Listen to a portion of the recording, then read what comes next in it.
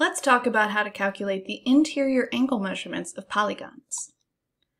In order for us to derive a formula that's going to help us to calculate the interior angle measurements of polygons, we're going to first need to explore what a diagonal is. A diagonal is a segment that connects two non-consecutive vertices in a polygon. Non-consecutive just means that they're non-adjacent, they're not right next to each other.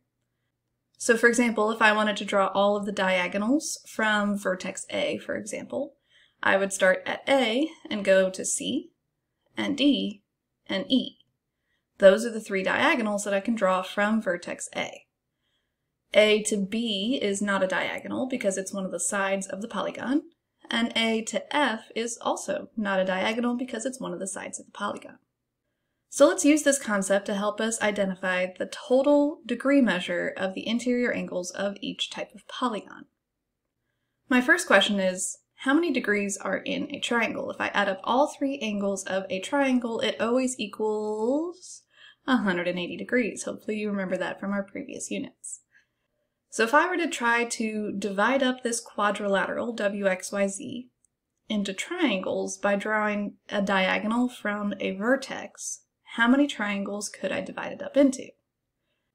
Well, just two. If I choose to draw the diagonal from W to Y, it would look like that. So I have two different triangles. Or I could also do the other diagonal from Z to X, and again I still just get two triangles. So if there's two triangles in a quadrilateral, and each triangle is worth 180 degrees, how many degrees are in a quadrilateral?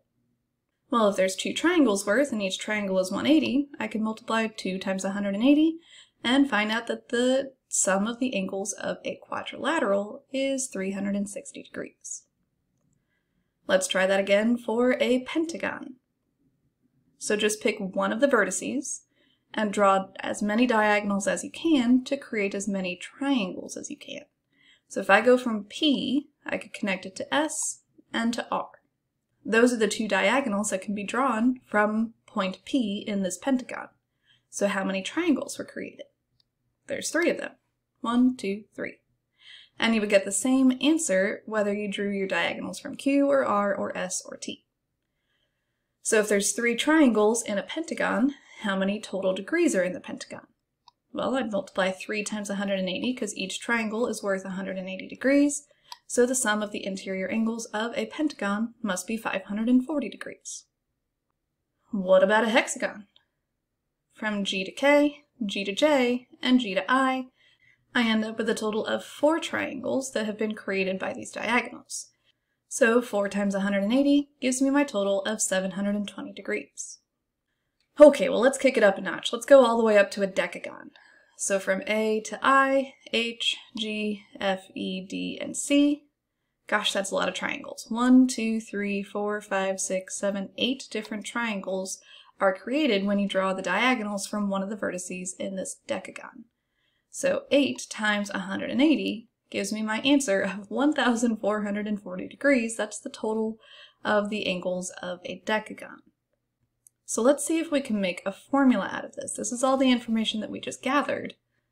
So if I give you any shape, any polygon, can you tell me what the sum of its interior angle measurements is going to be based on the number of sides it has? What do I do?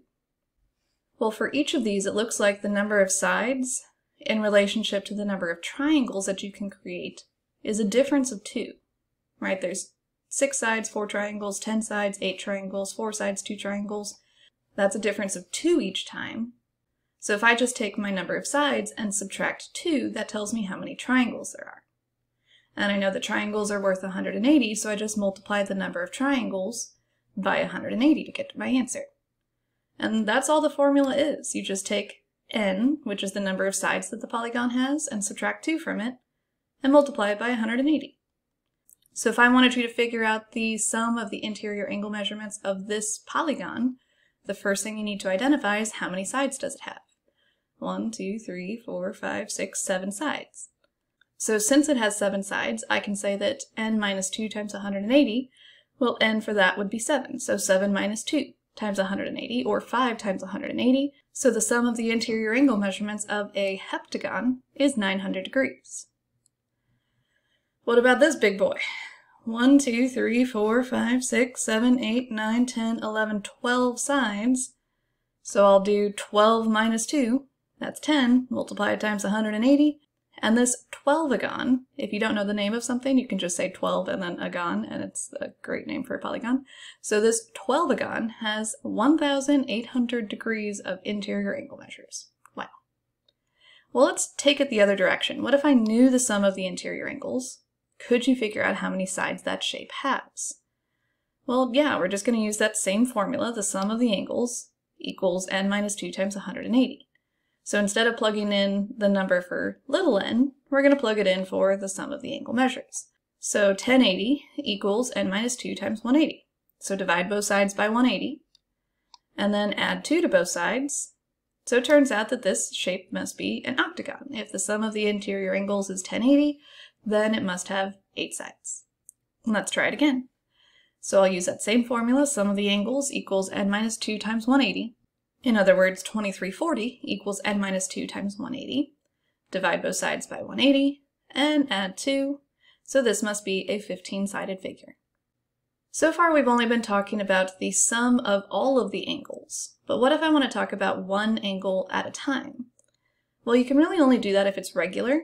If it's regular, that means that all of its angles and all of its sides are the same, so if you know that it's a regular polygon, then you can use this formula to calculate each of the individual angle measurements in that shape.